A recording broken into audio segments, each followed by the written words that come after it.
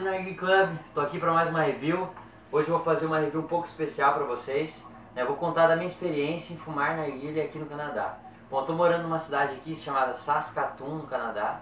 Né? Tem aproximadamente 240 mil habitantes e fica bastante longe das cidades mais conhecidas aí, Toronto, Montreal, Vancouver, enfim. Mais ou menos no centro do Canadá. Vou deixar o um nomezinho aqui embaixo para quem quiser dar uma olhada no Google Maps aí, dar uma pesquisada. Mas enfim, eu vim do Brasil para cá faz aproximadamente 18 dias. Eu não trouxe, eu não trouxe nenhum produto relacionado à narguilha. A única coisa que eu trouxe foram os roches da BR Made, mas eu não trouxe mangueira, acessório nenhum, narguilha, fumo, nada. Né? Então a primeira coisa quando eu cheguei aqui foi procurar algumas lojas físicas aqui na minha cidade mesmo e lojas é, virtuais. Eu encontrei algumas, né? A primeira eu fui visitar duas lojas físicas aqui, né? Que eu posso falar das lojas para vocês. Eu tentei gravar dentro das lojas, mas não deixaram. Né? As lojas são grandes, tem bastante bongs, sedas, enfim. E uma seção das lojas são alguns produtos de narguilha. Você encontra muitos narguilhos da China, Mia Sahara Smoke, que é o que eu estou fumando agora, que eu estou usando, que eu vou fazer uma review especial para vocês aí. É, e algumas outras marcas da China, né, que parecem ter uma qualidade boa, né, nada comparado àqueles narguilhos do Paraguai, de qualidade inferior, parece ser bons narguilhos, mas enfim, você encontra bastante disso nas lojas físicas aqui. Em relação a fumo, a gente encontra bastante fumos é, herbais e alguns fumos com tabaco. Né? Então a minha alternativa aqui foi fumar herbal nos primeiros 15 dias. Por quê? Aqui eu tô com Fantasia Ice Mint, tá? Herbal.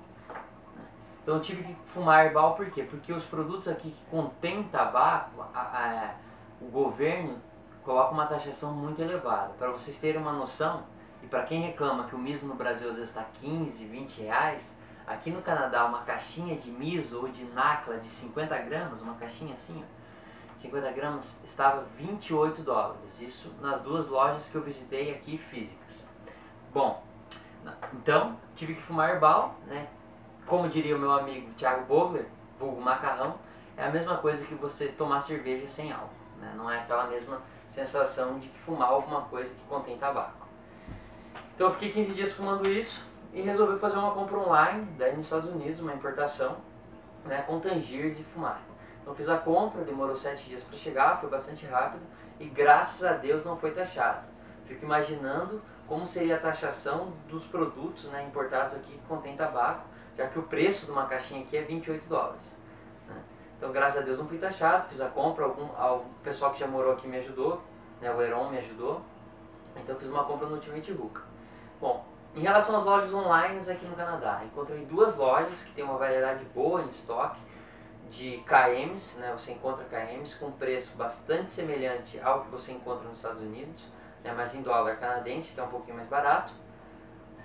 E, e carvões, enfim, acha bastante coisa, herbal também nas lojas, só não acha fumo com tabaco. Aí eu não sei se é porque já é muito caro ou porque existe alguma restrição para vender tabaco online. Não me informei sobre isso, não vou falar besteira. Bom, hoje aqui, aqui dentro, dentro da minha casa, está aproximadamente 22 graus positivos e lá fora está aproximadamente menos 24 graus né, com uma sensação térmica de menos 29. O pessoal aí me pediu para mim é, fumar um pouquinho lá fora para mostrar. Algum pessoal tem dúvida se apaga o carvão, se não apaga o carvão. Então vou cortar o vídeo agora, fazer que nem o Ferrari, vou aparecer fumando lá na neve, lá fora, no menos 24 graus. Vou tentar fumar lá uns 10 minutinhos para mostrar para vocês a experiência de como é fumar é, numa temperatura tão baixa. Beleza, galera? Então, até daqui a pouco. Fala galera Nerd Club, voltei, tô aqui no frio, agasalhado. Pessoal que me pediu aí pra vir sem, é, com calção e com camiseta, extremamente impossível. Né? As extremidades começam a congelar, né? tem que vir de luva e, e touca, né? senão a orelha congela. Mas enfim, né? eu tô aqui fumando há uns 5 minutos, né? tá nevando um pouco agora. Né? Aparentemente os carvões estão bastante acesos, tô fumando Kenny Mint aqui para exagerar um pouco, para mostrar para vocês a sensação. A fumaça é extremamente gelada. Muito mais gelada do que você usar aí no Brasil qualquer piteira de gelo. Tá? Não sei se eu aguentaria ficar aqui uns 30 minutos aqui fora fumando, parado. Né? Começa, as extremidades começam mesmo a ficar bastante gelada, começa a incomodar. Tá? Mas a sensação de fumar assim é diferente, né?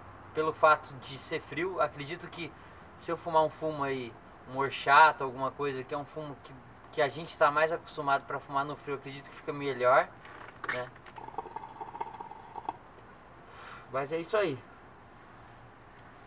Né? Aparentemente, bom, eu estou usando abafador para evitar que eles apagam os carvões. Né? Aparentemente está tudo certo até agora, mas eu vou ter que voltar lá para dentro porque está complicado. Um abraço aí para todos, né? Acredito que tenha tirado a dúvida do Fábio Vilarino aí, que pediu se os carvões apagam ou não. Não apagam. Pelo menos nos 10 primeiros minutos, não. Um abraço a todos os colaboradores aí do Arguilho Club. E até a próxima. Quem tiver ideias aí para mim fazer review aqui no Canadá, só deixar um comentário, curtam o vídeo, dê um like no canal. Aliás, se inscrevam no canal, dê um like no vídeo e até a próxima. Que tá frio